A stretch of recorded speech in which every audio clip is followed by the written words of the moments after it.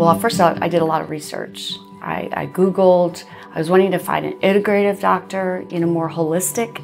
And um, so I came, found him, he told me what my situation was, and it was more than just a tooth. I was terrified because it went from thinking, okay, I've got a problem either with my uh, TMJ or, or a tooth, then to find out what he ended up finding after doing x-rays that I, I had a mass in my jaw.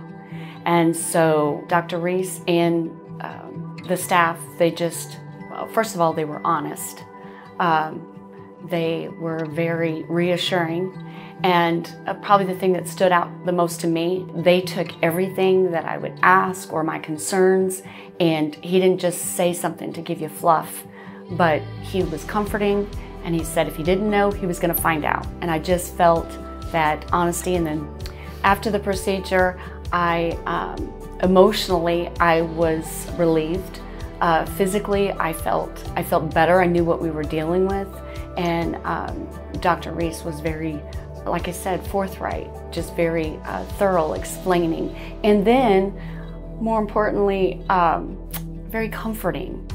Uh, I think their care um, not only their care, but uh, their passion for what they're doing. And as a patient, I, um, I want somebody that's passionate about what they're doing, especially when it's my health, my teeth.